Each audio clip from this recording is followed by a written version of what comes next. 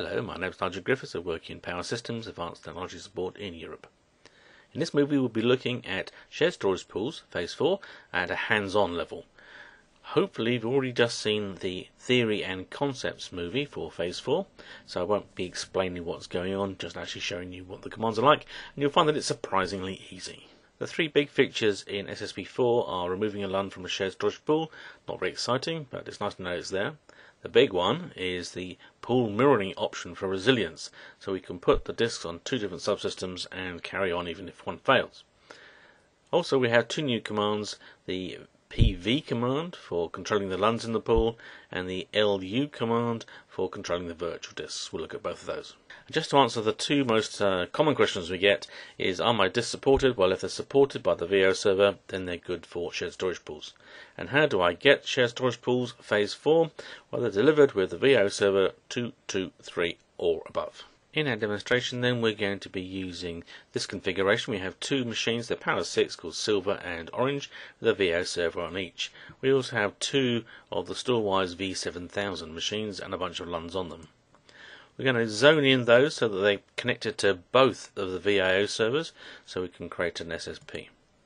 Then I run the cluster create command, cluster name globular, and the storage pool name Pacific. I've given it a repository disk, and we're going to ignore repository disk for the rest of the uh, time here. Then we're going to have some storage pool disks, um, 31 and 32 in this example. We'll actually have a look at the names when we actually get some hands on. And then we give it the uh, host name of the VIO server we're actually running this command on. And we created a shared storage pool accessing a couple of those disks. I then had to run the cluster add node command uh, to add in my second VIO server, and now we have a genuine a cluster of VIO servers. I've actually created some clients on both the silver and the orange node and given them some disk space and we can see at the moment my shared storage pool is only using two of my disks on one of my V7000s. Then I'm going to use the failure group command to create this uh, mirror onto my other V7000 and uh, so we're now in a nice protected environment.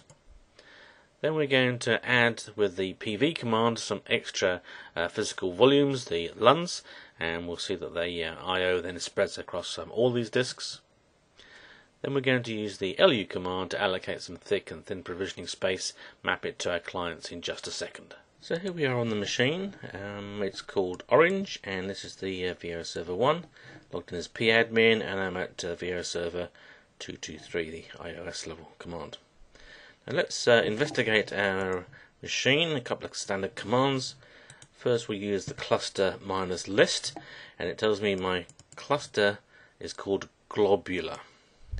Uh, the next thing we want to do then is to find out some more about that particular uh, cluster name and we use the cluster status here but we need the name globulars that's why we ran the previous command it took a little while, if you noticed, to come out because it's actually checked around the various VIO servers to make sure that it understands the uh, current state.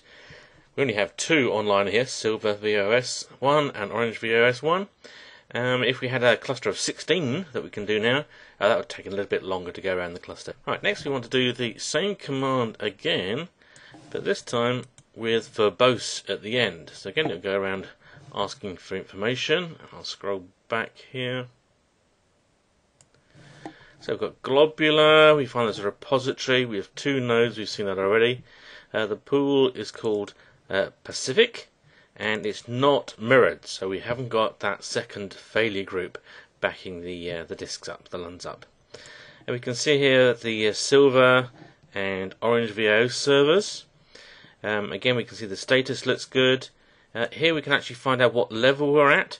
Uh, this verbose command is particularly good when we're upgrading our VIO servers in their cluster, and this will tell us which ones are um, back level, so we can complete the upgrade. Then we find that the new function suddenly starts working when they've all got up to the uh, the right level. Also notice down the bottom in here that this uh, orange VIO server is this DBN. This is the database node. This is the one that does the uh, writing to uh, the important information in the cluster. Let's clear the screen. The list cluster minus D gives us a description of all the disks as seen by all the VIO servers. Let's scroll off the top if we go back a bit. Again, we can see we have uh, two nodes uh, connected and working. So from the orange machine is using HDisk 7 and 8. HDisk 11 is the repository disk. But if we go to the silver node, then it's 6 and 7 instead of 7 and 8, and HDisk 10 is the repository node. Very nice way of finding out what the disks are all called on the various nodes, so we don't make some ghastly mistake by assuming they're all numbered the same. Let's clear the screen, and we'll use the uh, the new PV command. A lot of the commands have a, minus list option, so it's easy to remember. So again, we have a specific up in here, and we can see on orange it's HDisk 7 and 8. But We actually want to find out what uh, disks we could be using because we want to add this failure group. So um, if we can't remember the options, just PV will give us the uh, little hint there. So there's add, remove, replace, list, and uh, down in here is PV list capable. So these are the disks that is found on Orange that are also available on all the other nodes uh, in the cluster. Now, if we look at some of these numbers in here, we can see these numbers here represent the uh, manufacturer and the actual uh, number is for a particular disk subsystem. This is my uh, V7000 in here, the first one. And then I have uh, another one down in here with a different number. This is my second V7000. So this is the one I want to put my uh, new data on for my failure group. So I need uh, HDisk 12 and 13 for my failure group. Let's clear the screen. Let's have a quick look at the uh, failure groups. Where's the minus list? And again, we have a pool, Pacific, and we have one failure group called default. This is what you get when you run the uh, cluster create command and uh, it's online and this is the size. Of this is the, uh, the two disks at uh, 128 gig each. Okay. If we forget what uh, we're trying to do we're going to run the actual command and it gives us um, all the details. You have to have to ignore all this cluster name and storage pool as it's redundant in this release until we have multiple clusters and multiple pools but otherwise the, uh, the information is all in here All right, let's clear the screen and actually create that first failure group so here's my failure group create command. This will create my mirror. FG for the failure group. This is the failure group name in here that I'm going to use. Uh, dun is apparently a color. My SAN administrator finds these peculiar colors for me. So as an education. And notice the um, colon in here. This defines the uh, the name. And then HDisk 12 and oops 13. So off we go. While that's running, I've gone to another screen here and we can see the failure group list. It's created the uh, dun. Uh, it's the same size because all my disks are the same size and the same number of them and it's uh, online at the moment. So this is looking good. I do have four or five copies of AIX installed and using the pool, so it really did have to move some data. It took just over a minute. While it's doing the mirroring, it will be marked up as in a degraded state instead of online, and as soon as the mirrors are good, it will go back to the online state. With the verbose command in here, we've got a summary of our two failure groups in here called default and v7000 dun. Well, I don't like this one called default, um, so we can actually just do a, a rename of that now and we're going to use the failure group modify. This is the only thing I think we can modify. We give it the name default. I'm going to change the attribute, the failure group name, to V7000 tan, which is the actual name for the other unit. So let's clear the screen, and that's it with failure groups. Um, create the second mirror and uh, rename it, and we're dun. There's a remove option, but we don't want to try that now. We only just got it working. Let's have a look at the PV minus list option now, and now we can see our two failure groups, V7000 tan and done, and we can see the disks assigned to those. um, all online, all the same size, so the two mirrors are the same size. This is looking really good. You can also see here these uh, part number in here and here are different, so all our discs on the two different systems all matched up nicely. Missing out here is actually the uh, the LUN number. If we do a minus verbose option, we can see those extra numbers um, at the end of the line. Okay, let's uh, clear. If we go back to the capable list, uh, we'll find there's less disks out there. This one here in 2 uh, gigabytes is a spare repository disk, and I'll create another movie on recovering from repository disk failures. So we'll ignore that one. Um, we find if you look at the two numbers in here again, there's two disks on the uh, TAN V7000 and two disks on the DUN V7000. So I want to add these as uh, two pairs into my two failure groups. So we're going to use the pv minus add command. So here's the command pv add failure group and we're going to have the, the name in here v7000 tan and colon, space and some disks. Then we have the uh, other failure group name, V7000 dun, colon. Note I have missed uh, the space out in here, uh, that doesn't matter, it will work that out, and the HDisk 14 and 15. Be very careful you get things right. Now, these are nicely in order and things. Um, if it's a more complicated scenario, that's why you might want to use the minus file option and put these lists of disks um, into a file so you can double triple check that they're okay. Okay, we'll run that and we're then going to give another quarter terabyte mirrored into our pool. Okay, it's gone in nicely and we'll try our list command again. And we can see our pool with our disks all nicely in there and everything's online. If we do the uh, same with the minus verbose, it will zoom off the screen, but you can see here the uh, 57, 56, 55 are the LUN numbers as you see on the disk subsystem. I'm not going to cover the PV um, remove command um, as our cluster here is fairly empty. Uh, that'd be pretty quick and uh, unexciting. Um, if your pool is very full um, and you're doing lots and lots of I/O, that could take some time. And the PV minus replace, uh, very similar technology we had in previous release. Right, now let's have a look at the logical unit function, LU. Um, this is my HMC. I want some disk space now for uh, Orange 5. I'm about to install a copy of AIX. I clicked on this thing and here and I got the panel up. Virtual adapters. Here's my SCSI, virtual SCSI on the client side. The uh, On the VIO server side, it's here. And so here's this uh, adapter slot number.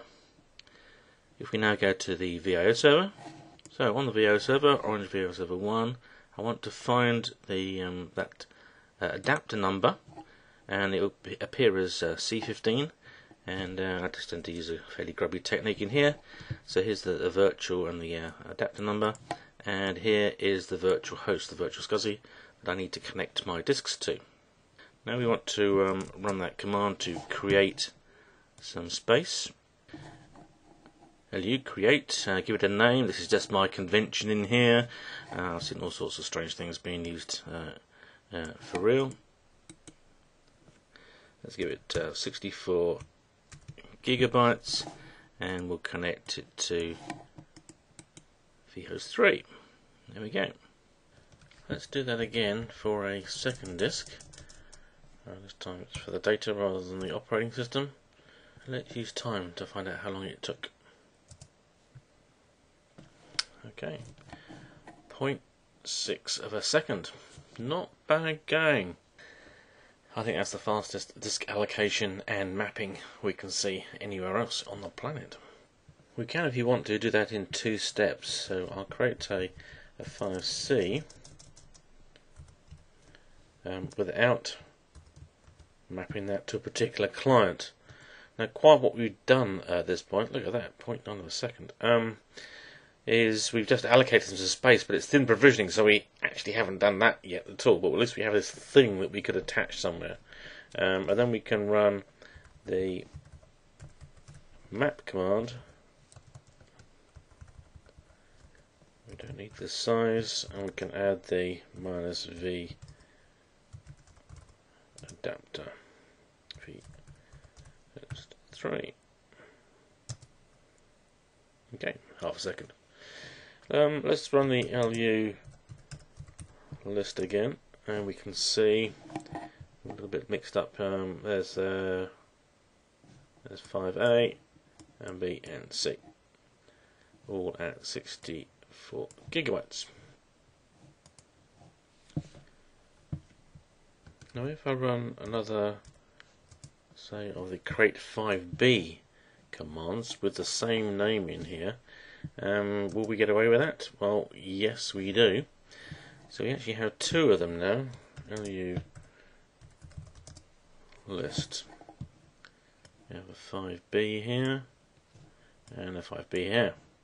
Now, what happens if we do an LU minus remove?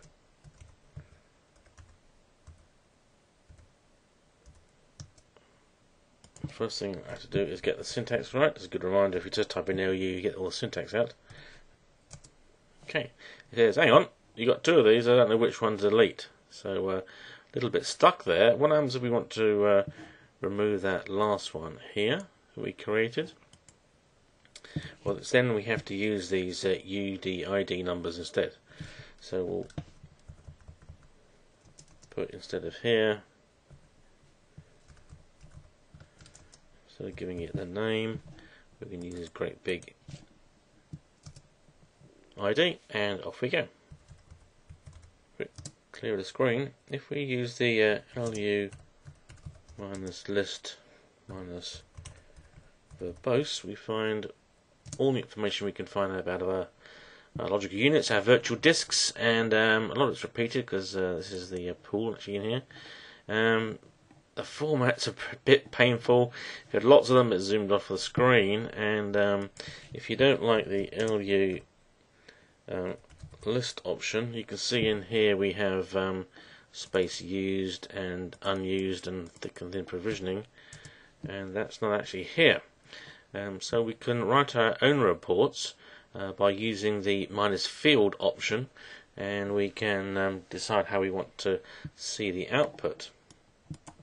Okay, clear the screen. So here's the LU list field. Uh, these are the names I've copied straight out of the a verbose option as the, uh, the names of the fields. And the format in here, various options, there's only about six or seven different characters you can use. Uh, this one on the colon make more sense to me than the uh, others. So we'll quickly just run that command. And we can see down here the all the output and um, comma separated. Um, here's the uh, snapshot, for example. Um, not very pretty. So um, we could quickly build a script and uh, use a bit of um, awk and things to sort that out. So let's do that now. Command piped into awk. We have uh, a header printed out here, and then we printed out the things in formatted nicely. Well, that's the way I like to see the data. With a minus field option and a script, of course, you can have the report that you want. Don't forget, though, sometimes you want to see the overall view of the uh, pull and back to the lssp command that's been around quite a long time. Here we can see then the uh, name and the size, half a terabyte, synced. So that means that uh, our mirrors are in good state, and then we can see how much is free, how much we've allocated, and um, if we're actually over committed, and we are now by 55 gigabytes. Well, that's it for my video looking at Shared Storage Pools Phase 4. Hopefully that will get you started. You can find the other movies about shared storage pools or invent a lot of other subjects about power, power VM, AIX, performance tuning and nmon at youtube.com slash Nigel A.R. Griffiths. I also regularly tweet about these technical subjects as Mr. underscore nmon, and this tinyurl.com slash expert is where you can find my blog where I'll give you more up to date information as we go along.